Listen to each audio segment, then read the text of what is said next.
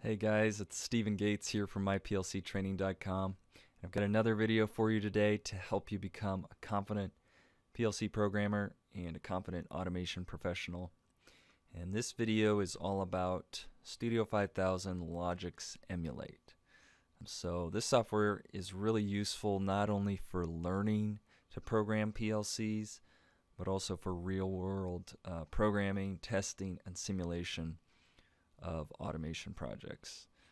In fact, I use it regularly for my engineering job when I need to test new PLC logic or even test old PLC logic to see uh, if certain sequences work with the existing PLC logic. So it's a great tool. The Logix Emulate software is part of the Studio 5000 suite which is where Logix Designer comes from, is that Studio 5000 suite. And it's actually included with the professional level license of Studio 5000 Logix Designer. Uh, so I'm going to bring it up here.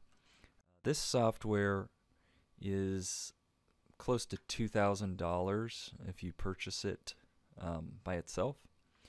And again, if you don't have access to this, I've said this in some of my other videos, about some of the Rockwell software. But if you don't have access to this, but you would like access to it, along with some PLC training help, courses, and support from me and the myplctraining.com team, My PLC Training Academy is for you, definitely. We offer not only training courses, but access to Rockwell software. So if you are interested in that, check out the link below for my PLC Training Academy, and we'd love to get you in the membership and help you become a confident PLC programmer. So, with that being said, let us dive into this training. And so, first of all, we'll just take a look at the software here. So, as you can see, Emulate is supposed to look something like a ControlLogix rack PLC rack. You can expand this or or make it smaller, minimize it. But basically you have slots lined up here from 0 to 8 and then if you expand this it goes all the way to 16. So you can insert modules into each of these racks and there's only a couple different options there which we'll talk about more later. Most likely you'll see these two modules one is for RS Linx, and the other says it's unknown, but it's for RS Linx Enterprise. So the the first one, the RS Linx module, is allows you to connect RS Linx to the emulator rack and eventually to an emulate controller uh, so that you can download your program from Logix Designer into the controller, go online with the controller, etc. The other module is for FactoryTalk Linx, formerly known as RS Linx Enterprise, and this is the communication software inside FactoryTalk View uh, that is used for your HMI applications to communicate with a PLC. And you can use it to connect your HMI application to the Logix Emulate software. So that's really cool. So what I like to do before I start using the Logix Emulate software to create uh, programs and test out programs is I like to get these two modules out of the way. Because most of the projects I work on, the controller is in slot 0, um, where this is, and sometimes another controller in slot 1. Um, that's just the projects I'm working on. So for me, it's handy to get these out of the way in their where they are in their default positions. So to get rid of this guy, or to move it I should say, we're going to open up RS Linx, which is here in the background. And we go to com communications, configure drivers, and from there we're going to click this pull down menu and choose from the available driver types. We'll choose virtual backplane. So this is the one we need. This is the driver that allows us to communicate to a Logix Emulate controller. So we'll click Add New, and we'll just stick with the default name for now. Click OK. And now here's the important part. So by default, it wants to put it in slot 0. So we want to move that. We can move it wherever we want. I like to move it all the way out of the way to slot 16. So click OK. And now you should see this VBP virtual backplane driver running and you can see it here in the RS Who window. So I'm going to click close now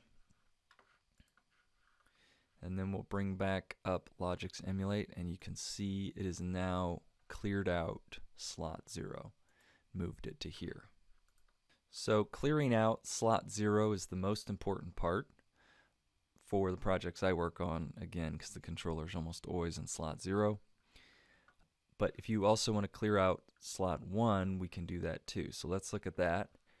And to do that we're going to open up Factory Talk View and I have a project open here. And so what you want to do is, if you've got a, a project already created, which I'm not going to go into that in this lesson, uh, we do have training on that if you're interested, but the project should already have a FactoryTalk Linx or RS Linx Enterprise server set up. And so I've opened it up here. That's where we're at here. And the 1789 A17 backplane is the virtual backplane in Studio 5000 Logix Emulate. So this is basically the equivalent of the virtual backplane driver we set up in RS Linx Classic. So this is the RS Linx Enterprise version of that, or FactoryTalk Linx, same thing. So right click, choose Properties, and you can see it has slot 0, 1 chosen and you may have the auto configure setting um, checked there. If you do just uncheck that. And then we'll choose from our options here. We'll choose slot 15 click OK. And then we'll bring up Logix Emulate again and you can see that moved it out of the way to slot 15 I'm not sure why it says unknown but that is the module that is dedicated to Factory Talk Linx. Okay. So one more thing we need to do to the Logix Emulate rack before we download a project to it is obviously add a controller. So right click the empty slot you want to add the controller in. In our case we're going to use slot 0. Click create. Next we need to choose which type of module we want. You can do a 32 point input output simulator. I never use that. The controller is what we want. Click OK. And then we're just going to click next on here, go with the defaults. This one is important. You want to make sure the version that you are using here corresponds to the version you're using in Studio 5000 Logix Designer, so the programming software. Um, so I am using version 30, so I'm going to stick with version 30. Click next, and then we have one final prompt where we click finish. And you can see it has added the controller to the rack there in slot 0.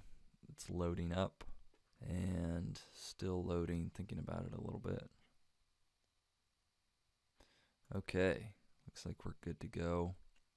It's still in the power up uh, mode, but we'll be able to see it in Logix Designer shortly. So the next step is to bring up Logix Designer. So I've got Studio 5000 open here. And let's go ahead and create a new project. Okay, so make sure you have Studio 5000 Logix Emulate controller selected. And we'll give a name to it. We'll just say Logix Emulate. Next. And this is where you choose your version. All I have right now available is version 30. So I'll just click finish. Okay, our Logix Designer program has opened up. And we're just going to open the main routine and create a very simple logic that we can test in the emulate controller. So I usually go with an XIC and an OTE And we'll create some fake tags here. Fake input. Fake output. Okay. We'll click save. And then uh, one thing we want to do before we download it is to verify that the controller is in slot 0. So by default, it should go to slot 0. If it's not in slot 0, click the controller properties up here. And you can change the slot here. So keep it at slot 0. Click OK. Let's try that again.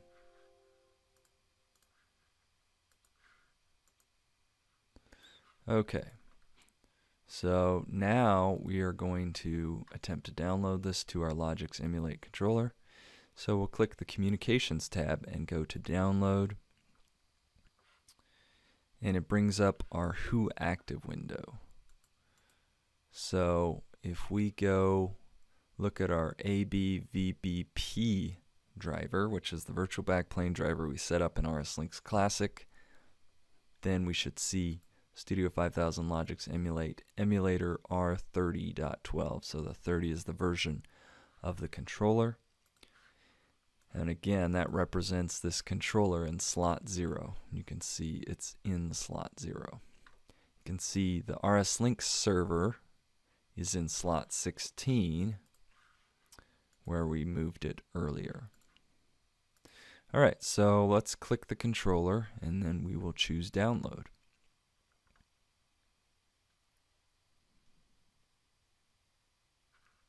Click download again.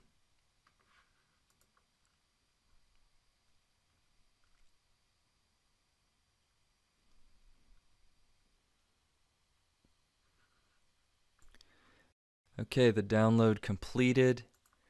And now we're going to change this to run mode. Change controller to run mode, yes. Okay, so it says it's running and we can toggle this fake input. Control T does that, but I'll just show you here. Toggle bit.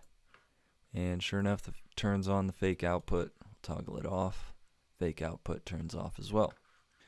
All right, that's it, folks. Hopefully, you learned something from this and enjoyed this PLC training on Studio 5000 Logix Emulate. If you want more opportunities to learn, to use, and practice PLC programming with not only Studio 5000 Logix Emulate, but Logix Designer and FactoryTalk View, uh, be sure to check out our training membership called My PLC Training Academy where you get access to high quality training courses, the Rockwell software licenses, and support from me and the team. And we will help you become a confident automation pro. That is our goal here. So check it out. Hope this was helpful for you. Thanks for watching, and we'll see you in the next video.